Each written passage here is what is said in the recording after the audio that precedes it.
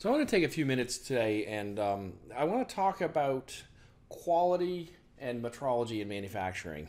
And this is a topic that I lecture on a few times a year in my uh, in my ME 1800 course. So we're going to borrow the slides from that class here when we do this. And when I do these lectures, I start off by asking the students. We do a little poll in class, and I ask the students which of these car manufacturers offers the highest quality. And I, I pass out index cards, and the students have to write down Mercedes Benz, Kia, or Chevrolet, and it's their opinion of which which car manufacturer offers the highest quality. And uh, and so there's some typical results of one of these studies over here that uh, that I've shown up here. And so this would be 11 respondents over here, maybe said Kia, and 17 or so respondents over here said Chevy. And the balance said Mercedes Benz is the highest quality. And, uh, and so we, we go through this, we talk about that for just a second, and then we bring up this study by JD Power in 2017 of initial quality. And so, so what they said here was for every 100 vehicles sold, Kia had 72 reports of problems, Chevrolet 88 reports of problems, and Mercedes Benz 102, which seems a little bit counterintuitive here when our belief is that Mercedes offers a higher quality car when, at least according to this particular JD Power poll, Kia seems to offer the highest quality car. And what this does, it allows us to open up this discussion of, of what does it actually mean when we say we have quality? What is this thing that we call quality? And, and so, whenever we're trying to understand what a particular word means, it's good to look at the definitions for that word. And so, actually, the ASQ, which is an organization that, that certifies quality engineers, they provide um, training, certifications, and they have uh, lots of reference materials that you can use if you're trying to understand quality, especially as it applies to manufacturing.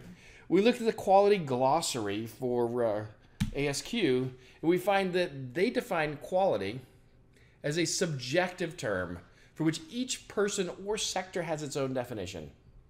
And then they say in technical usage, quality has two meanings. Characteristics, the characteristics of a product or service that bear on its ability to satisfy stated or implied needs, which is almost word for word the ISO definition of the word quality. And two, a product or service free of deficiencies. So when we have a quality product, it doesn't have any deficiencies.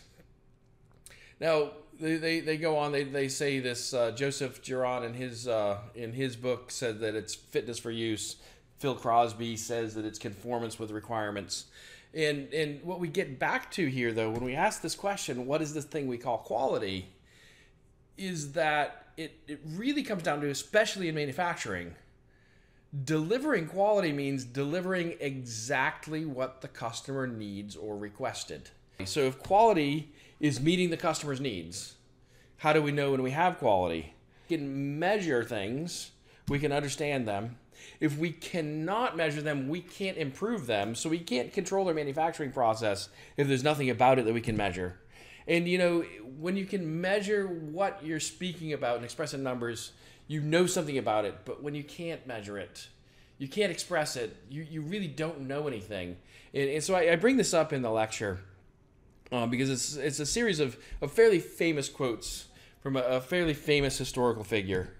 It was Lord Kelvin, and um, when we when we want to understand if we have quality, we need to have some specifications. The customer needs to have told us what they want, or we need to have figured out what it is that the customer wants. And uh, and so in this case, I've got a specification. I've got a drawing we're looking at just one part of the quality of this of this part in the next step here. But um, but you can see this drawing. that There's there's actually several functional parts on this drawing here. We have on the drawing, so there's an ID that we have to make in this part. And uh, in, in this is an in-process drawing, so it says in manufacturing we're going to check this with a go no go gauge there's an outside diameter of this surface right here. And I know from the design of this part that, that what's important about that diameter is that the clamp that holds this piece down later fits snugly around there. I also know that these O-ring grooves here, the depth and width of those O-ring grooves, if we screw that up, we won't be able to assemble the final part later. And so I know we've got some some fairly tight tolerances on these items here. The uh, the ID bore we have there, and then this bore out here. And most of the rest of the quality of this part is really a visual inspection. Does it look good? So what we have on this process drawing here is, is called out the dimensions that we want to sample. And in fact, for this particular process, we, we do 100% sampling. We measure 100% of the parts that come off the machine to make sure that they are in conformance. And, and part of the reason for that is because it's a lab exercise with the students. And, and so part of it is because we're training the students to do the measurements.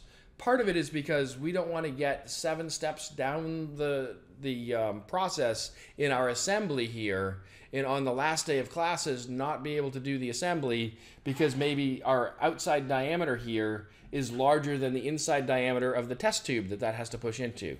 Um, and so, so there's a reason that we're doing 100% inspection on this, which we might not do if it was a production scenario. We might be uh, we might be doing some sampling and some other things, but uh, but so we we measure these, and um, I guess I guess most of us have seen a hundred dollar bill.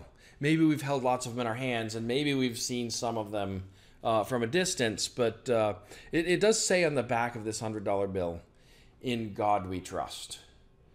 And, and anybody that's done any quality work, any any manufacturing, and try to ship parts to customers, understands that we may trust God, but everybody else needs to bring data.